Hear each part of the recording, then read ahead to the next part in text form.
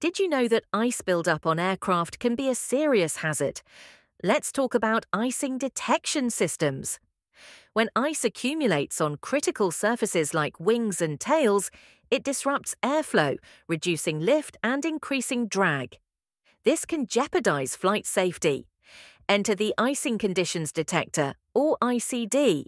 This innovative system monitors meteorological conditions that lead to icing, such as visible moisture and temperatures below 5 degrees Celsius.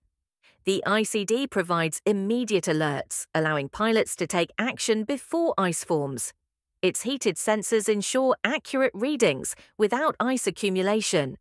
With real-time data from the ICD, pilots can activate de-icing systems or change flight paths. Enhancing safety for everyone on board icing detection systems are crucial in aviation, keeping flights safe and efficient. Stay informed, stay safe. Follow for more aviation insights.